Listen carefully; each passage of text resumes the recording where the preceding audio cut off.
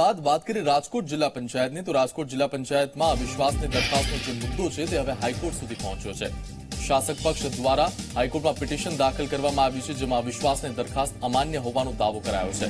પિટિશનમાં ઉલ્લેખ કરવામાં આવ્યો છે કે કોંગ્રેસ દ્વારા અગાઉ બળવાકોટ સભ્યોના સભ્યપદ રદ કરવા અંગેની પિટિશનનો ચુકાદો હજુ પેન્ડિંગ છે, જેને કારણે આ સભ્યો પોતાના મતાધિકારનો ઉપયોગ ન કરી શકે.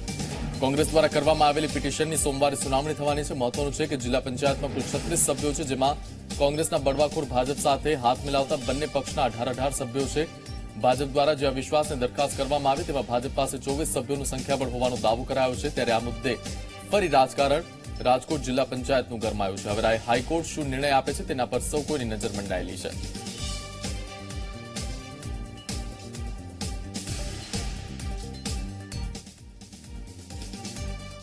અમુક જે મિત્રો છે અવારનવાર આ બધી વસ્તુઓ જિલ્લા પંચાયત ઉપર કિનાખોરીપૂર્વક એમની પાસે સંખ્યાબળ ન હોવા છતાં પણ જિલ્લા પંચાયતના વહીવટને ડિસ્ટર્બ કરે છે.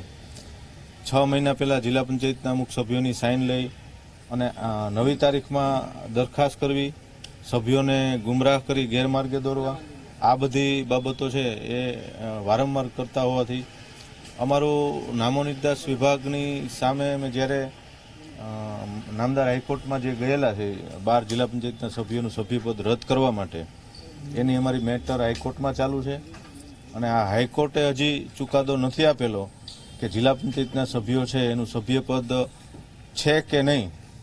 છતાં પણ અવિશ્વાસની દરખાસ્ત મૂકવી એ જિલ્લા પંચાયતના સભ્યો માટે વ્યાજબી નથી.